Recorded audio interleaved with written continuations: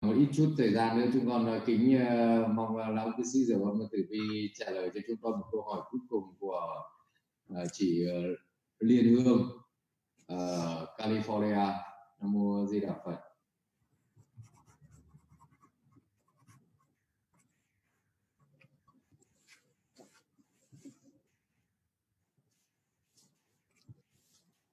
Chị liên hương là ai đâu? Ai? A di đà phật. Hình như chưa mơ mít liên hương ơi. Dạ a di đà phật. A di đà phật. Dạ thưa pháp môn niệm phật và pháp môn hộ niệm có phải chỉ dành riêng cho những ông già bà lão? Ví như chúng con là một phật tử trẻ còn um, gia sự còn bề bộn nên việc tu hành chưa mấy cần thiết có phải như vậy không ạ? à? Con xin lão sư tử diệu âm chỉ dạy cho những phật tử trẻ tuổi của chúng con được giáo sự hành a di đà phật. A di đà phật. Niệm phật là pháp môn dành cho ông già bà lão. Đúng vỗ tay. Niệm phật dành cho trẻ em luôn. Cũng đúng luôn vỗ tay luôn. Tính ra trong đời này những trẻ em, mình tưởng là trẻ, nhưng khi trở về cái đời trước, xin hỏi chư vị, đứa trẻ này già hơn ông già? Hôm nay hay là ông già hôm nay già hơn đứa trẻ bây giờ? Nói về Phật pháp, chúng ta phải nói là một chuỗi thời gian từ vô thủy đến vô chung. Quê mệnh của chúng sanh không phải là căn cứ vào một đời này một đứa trẻ gặp câu a di đà phật. Nó chân thành chấp tay. Có nhiều đứa trẻ lấy phật hai, ba tiếng đồng hồ mà còn muốn lấy phật thêm. Có những ông già năn nỉ niệm một câu a di đà phật không niệm, lấy phật một lại không lại. Xin hỏi chư vị, cái thiện căn phước đức công phu tu hành của đứa bé đó với ông già ai cao ai thấp. Cho nên nói về thế gian pháp thì mình ăn hiếp, lấy tuổi mà ăn hiếp. Nói về xuất thế gian pháp, người nào niệm phật, người đó có thiện căn. Người nào tin tưởng, người đó có tu hành nhiều đời nhiều kiếp.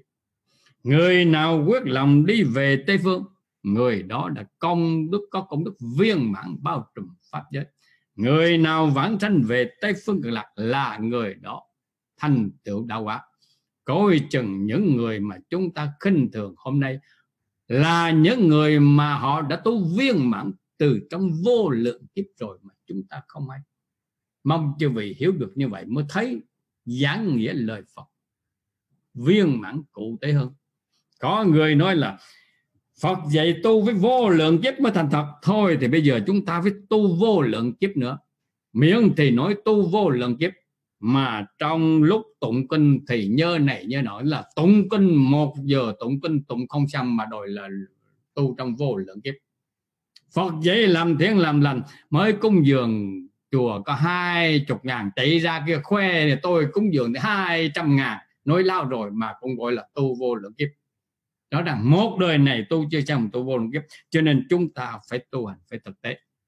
Mong chư việc hiểu, người nào đủ thiện căn người đó nên niệm phật.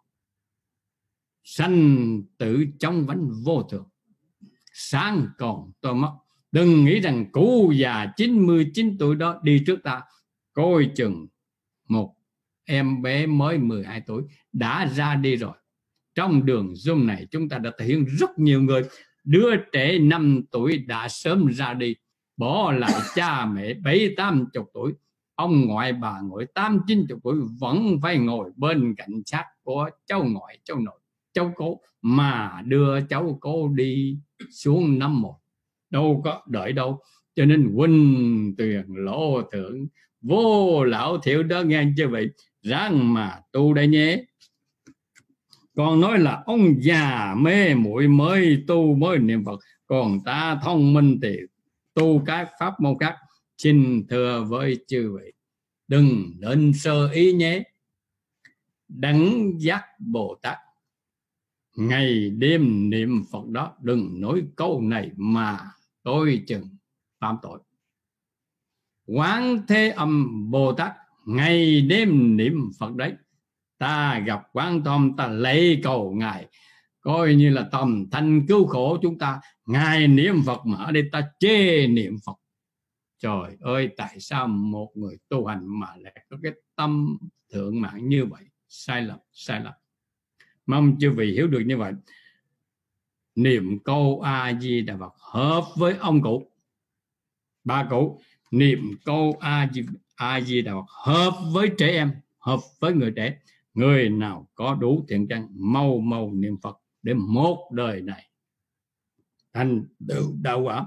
Người nào chưa đủ thiện căn, muốn tu pháp khổ nào, cho chúng ta hoan hỷ để họ tu. Nhưng mà thành tựu trong một đời này hình như không có chỗ nương tựa rồi.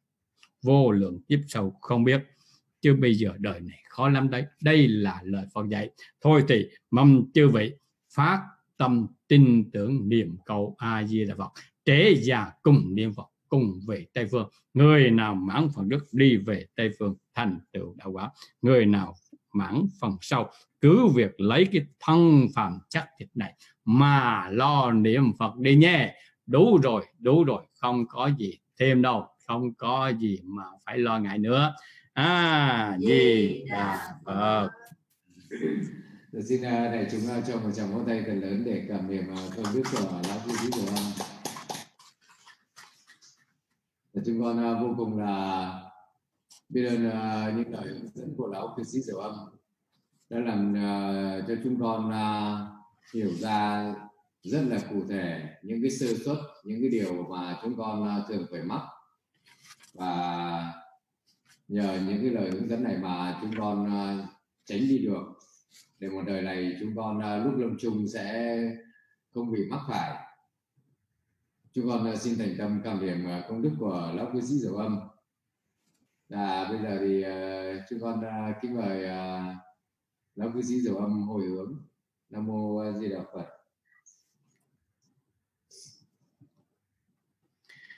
Nam mô a di đà phật.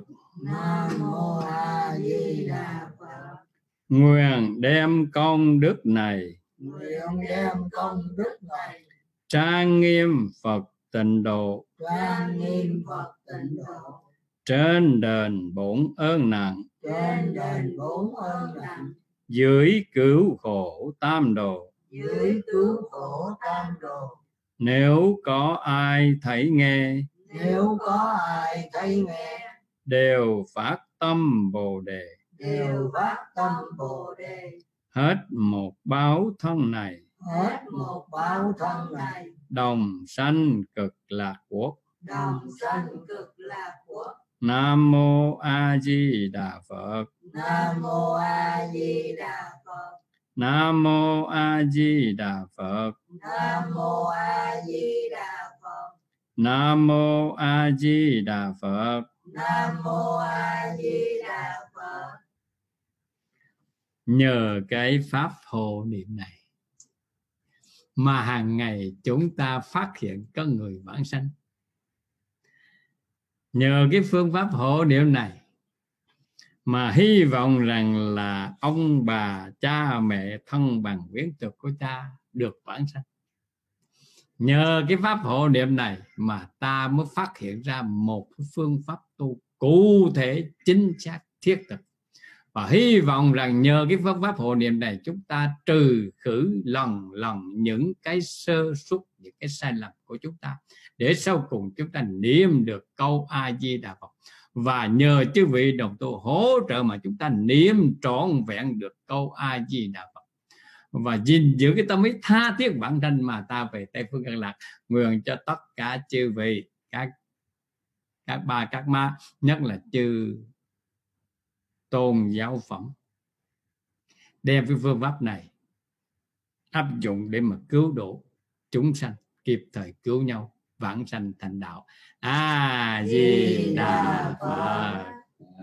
Giờ xin đại chúng cho một chạm vào tay một lần nữa để cảm niệm công đức của lão cư sĩ Diệu Âm. Và dạ, chúng con cũng còn rất là nhiều câu hỏi à, mà trong cái thời gian à, ngắn này không có cách nào mà để đáp ứng được hết. Cũng kính mong và chư vị đồng tu hết sức là hoan hỉ cho chúng con. Thì những cái danh sách còn lại những câu hỏi này chúng con sẽ chuyển vào cái buổi uh, hội thảo tiếp theo và qua buổi uh, zoom ngày hôm nay thì chúng con cũng kính thông báo với chư tôn đức tăng ly lão cư sĩ rủ âm cùng uh, chư vị đồng tu là tới thứ tư này là có một buổi uh, đồng tu niệm phật như thường lệ vào cái buổi thứ tư đầu tháng tức là thứ tư tuần này. Ngày mùng 5 tháng 2 dương lịch từ 18 giờ đến 20 giờ. Chúng con ờ, kính uh, thông báo và kính uh, mong uh, chư tôn kiệt thức tăng ni cùng uh, tham gia chứng minh. Kính uh, mong uh, tất cả các cha các phá chúng ta cùng uh, tham gia cầu tu niệm phật. Nam mô a di đà phật a di đà phật Dạ, kính chào chư tôn tiền đức tăng ni kính chào lão cư sĩ diệu âm kính chào các cha các má chư vị đồng tu và hẹn gặp lại thứ tư trong buổi uh, cầu tu niệm phật. Nam mô a di đà phật. A di đà phật